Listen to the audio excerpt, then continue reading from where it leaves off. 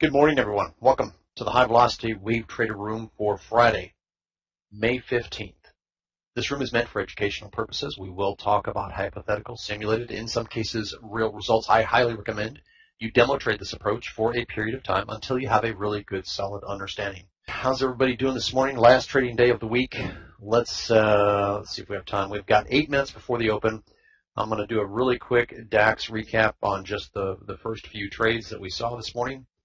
Let's get into that really quickly. 2 a.m. was pretty straightforward. Three trader intent sequence to the downside. Went about 9.5, and this is a pretty quick move.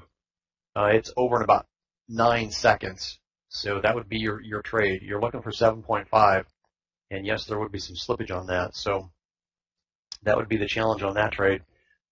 Trade number two was a virtual snap out, put you into chop mode. And then uh, trade number, trade setup number three was uh, the, the best of the three setups and that would have you POQ on the session for today.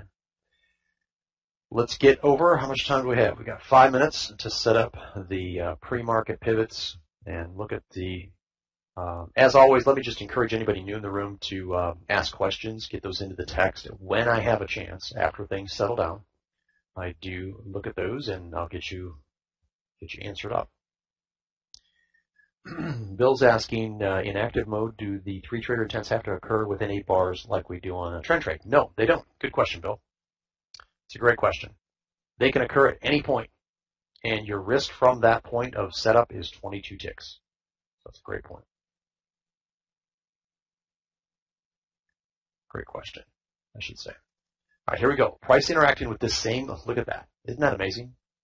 One, two, three, four, five times this time it poked up one more tick. If I've got the line right there. And boom, it's resisting. So definitely want to give this some respect. Let's see what we get here. We've got about a minute, 15 seconds to go.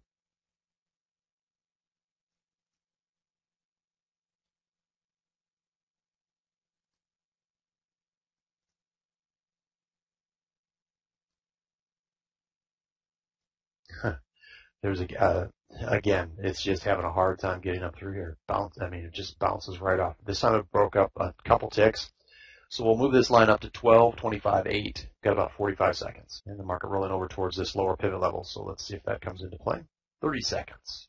Bruce asking, are we looking at chop? No, we're not. But we are looking for a breakout.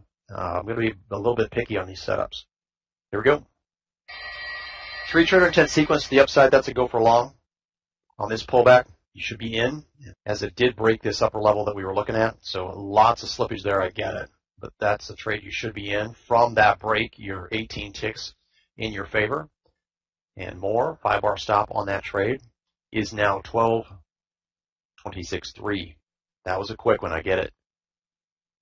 Be interested to know if anybody got that one. I mean, it happened literally in four seconds, in five seconds in.